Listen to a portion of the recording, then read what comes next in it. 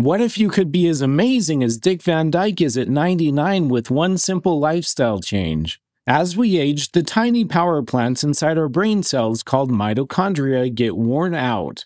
When they break down, they create clutter and inflammation, which is a major driver of diseases like Alzheimer's and Parkinson's. So the big question is how do we tell our brain to take out the trash? Meet urolithin A or UA. It's a natural molecule your gut bacteria make when you eat certain foods like pomegranates, berries, and nuts. The coolest part UA can travel directly into your brain, and once it's there, it flips a special switch.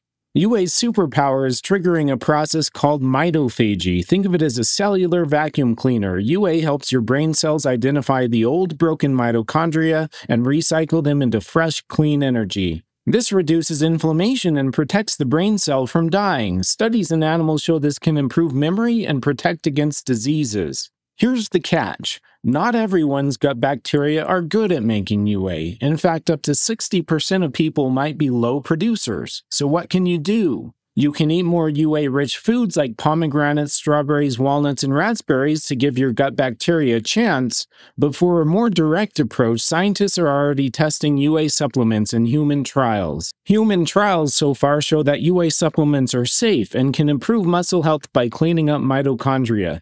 The huge exciting question that scientists are trying to answer right now is Will cleaning up the power plants in our brain cells with UA have the same powerful effect? Can it actually slow down or prevent diseases like Alzheimer's? The early research is promising and the race is on to find out.